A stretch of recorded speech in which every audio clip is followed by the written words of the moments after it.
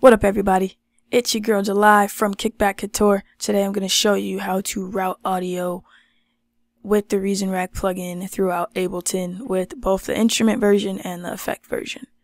Now let's go ahead and start with the instrument and let's just add two sounds, two instruments. Let's go with Ideate and Scenic and I do have a quick MIDI clip already instantiated. Now I want to separate this piano and scenic to be separate. So they are layered right now currently and if I want them on separate channels, it's very simple. I'm going to create an audio track here. Let's go ahead and name this scenic. Now I will hop back into the Reason Rack plugin and I will turn this off to main. This would be sending it to the main output which is the reason rack itself, we want to separate this. So I'm turning this off. If we flip the rack, we also see that it is going to 3-4, Scenic is going to 3-4, and the IDA is going to the main outputs. So back into Ableton, here where I named this track Scenic, we're going to change the audio from to the Reason Rack plugin. Down here, we're going to change this to 3 and 4.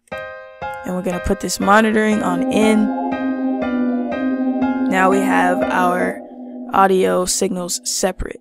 Now, MIDI is a completely different story. It is not possible to create separate MIDI channels within the Reason Rack plugin. However, there is a workaround. You can do this with a combinator. If I select both of these, right click, combine. If I open the programmer, and by the way, this isn't very workflow um, efficient. If this is what you want to do, you can do it.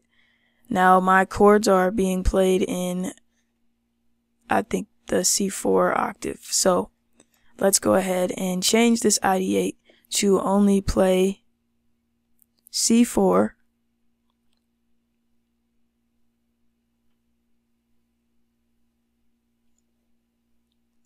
and we can go ahead and do it through C5 or something like that. C5 and then let's go ahead and grab Scenic and change Scenic to only play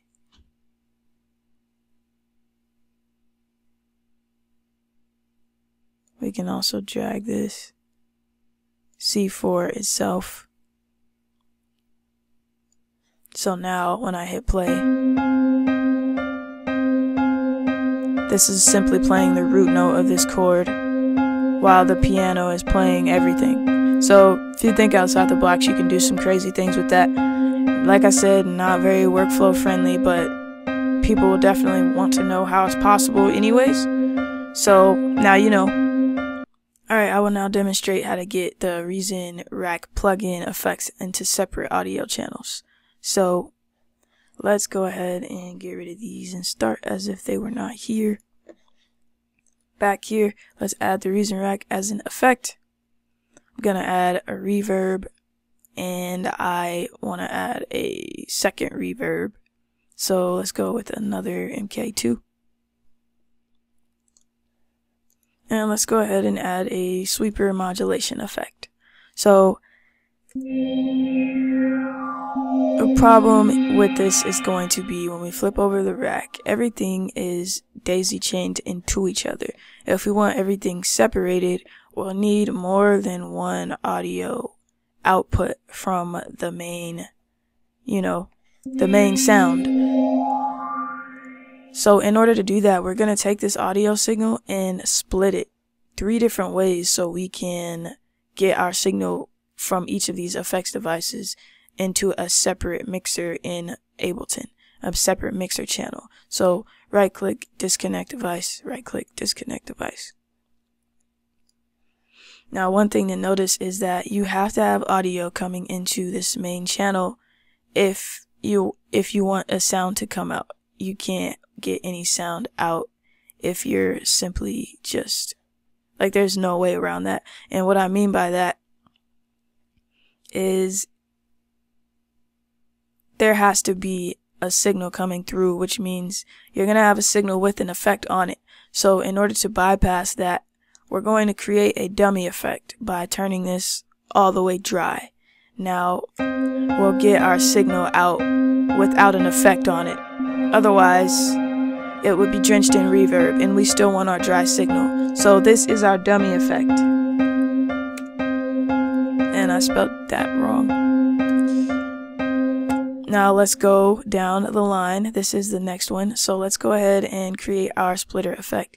There are two options um, that I utilize. Either the built-in Spider Audio Merger and Splitter, or if you're using more devices, then you can upgrade and get this from the Reason, the the Reason Studios store. I'm I'm guessing it's not called the Prop Shop anymore. This Poly Modular Audio Merger Splitter, where it has eight splitters for you. But we won't be using that right now. We'll just go ahead and use this so with that being said, we have to reroute everything. So main is going to go into our splitter here. And then we're going to send this audio input here.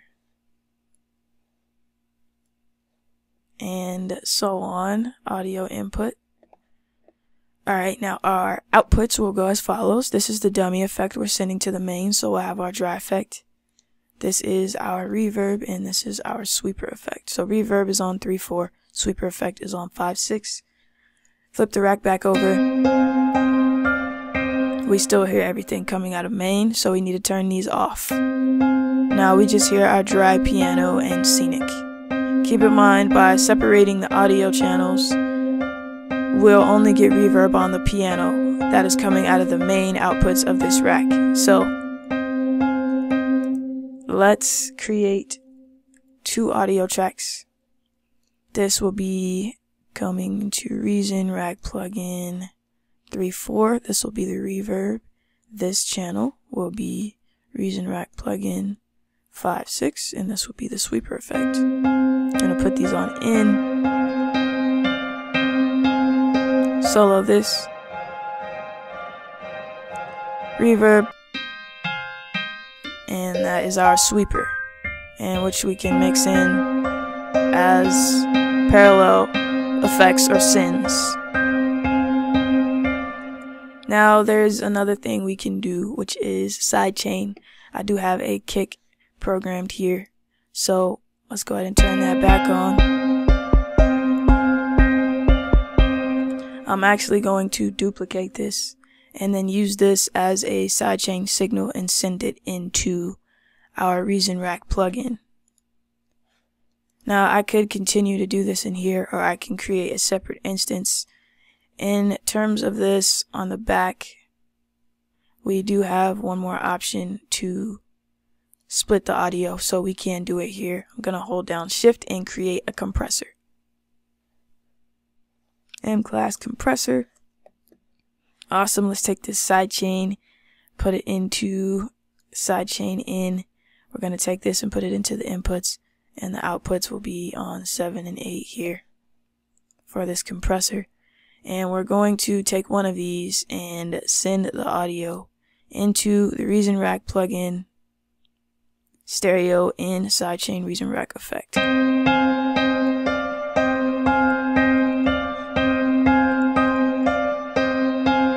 Flip this around and we're getting our signal in.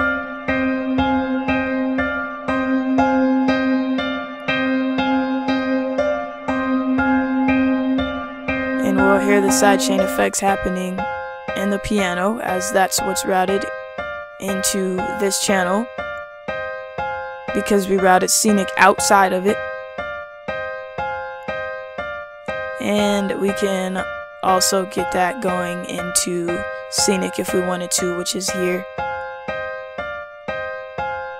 by a regular sidechain uh, operation, which would be like a compressor. So in order to do that, I would just do this in Ableton itself. So compressor. Open this up, audio from Atomic Kick.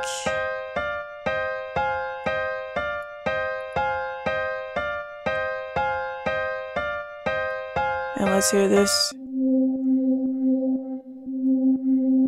Now we have two sidechain operations going. And our original kick.